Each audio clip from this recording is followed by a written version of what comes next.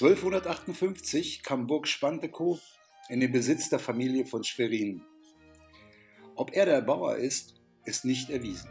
Durch kriegerische Einwirkung heruntergekommen, erbaut ab 1558 der Großhofmeister Ulrich von Schwerin in neunjähriger Bauzeit zusammen mit seiner Frau Anna, geborene von Arnim, die Burganlage auf dem ursprünglichen Gelände nach den alten Plänen völlig neu.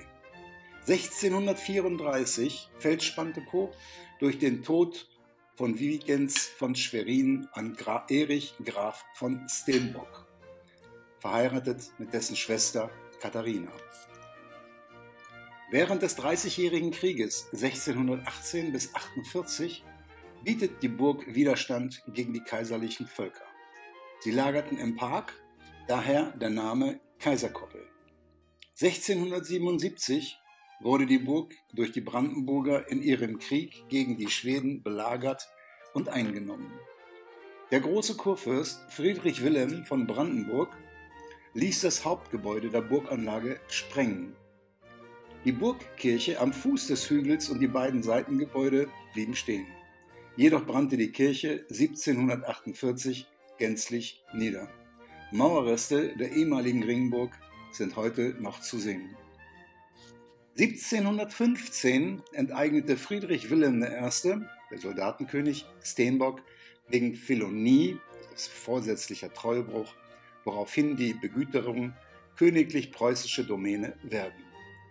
1738 Klage durch Generalfeldmarschall Graf Kurt Christoph von Schwerin gegen den Landesherrn auf Rückgabe. 1820 erwirkte der Landrat Heinrich Graf von Schwerin als Putzer ein Kabinettsbefehl durch König Friedrich Wilhelm III., durch den eine rechtliche Entscheidung angeordnet wurde. 1833 schließlich wird die Burg und die Güter Spantekow, Rebelow und Drevelow nach 199 Jahren und einem Prozess von 99 Jahren durch Rückgabe und Entschädigung von 40.000 Talern wieder Eigentum der Familie von Schwerin. 1895 Auszahlung der Familie durch Albert Julius Graf von Zieten von Schwerin.